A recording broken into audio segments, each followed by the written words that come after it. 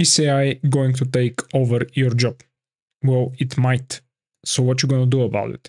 Hey everyone, my name is Venelin, and in this video we're going to talk about the state of AI and what is happening for you and do you need to still learn how to code and how to develop AI or ML models in 2024 and beyond.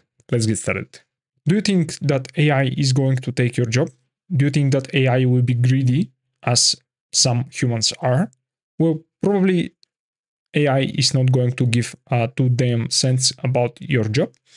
And probably people that are using AI are going to be much more greedy and try to get you out of the job.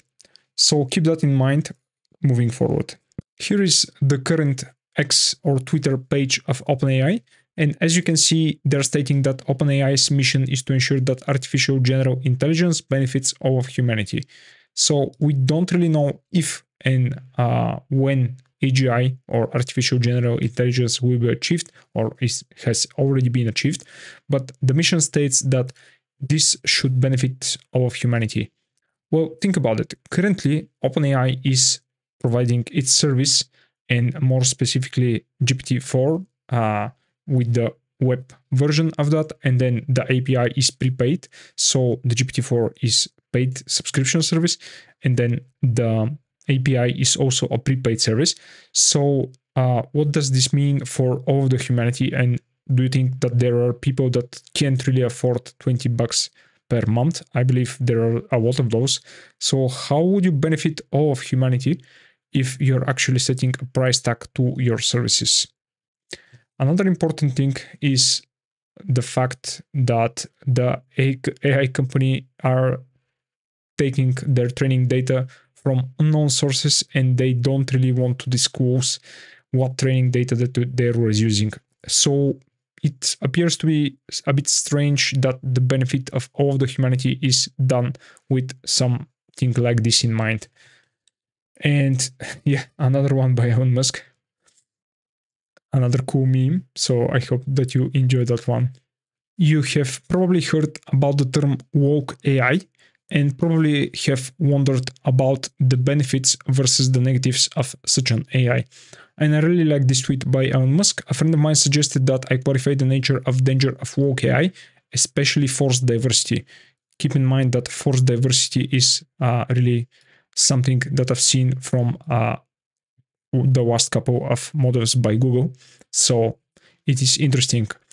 If an AI is programmed to push for diversity at all costs, as Google Gemini was, of course, then it will do whatever it can to cause that outcome, potentially, yeah, so this is a real danger since most of those companies are training the data on uh, the training their models on their own and your input is doesn't really matter as much. So they can decide whatever they want to do with those models.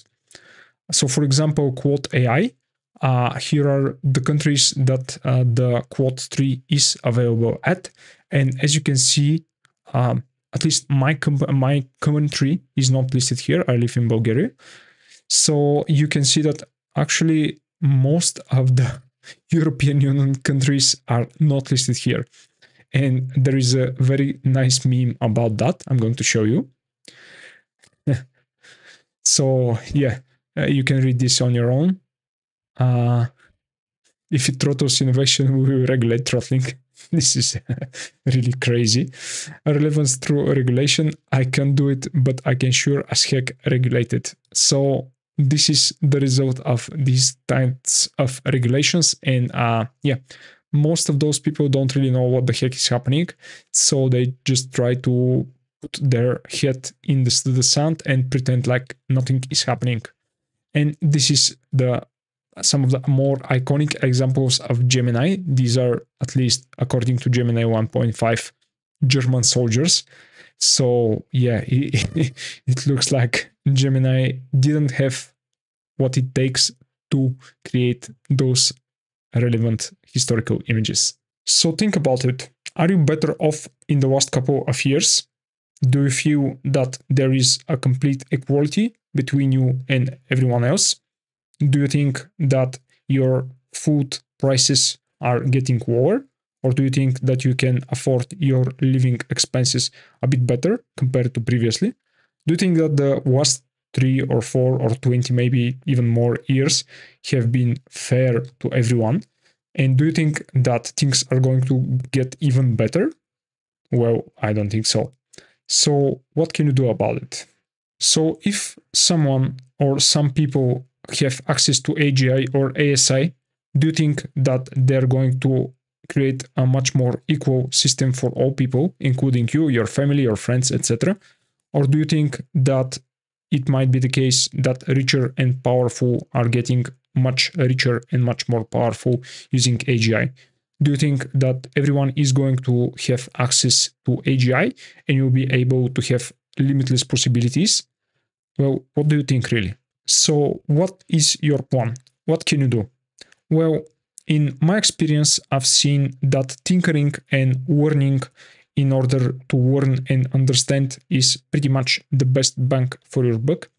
And something that I've seen throughout the years is that when you try to do and build some stuff, you learn along the way. And in that way, you adapt and become even much better compared to your previous self.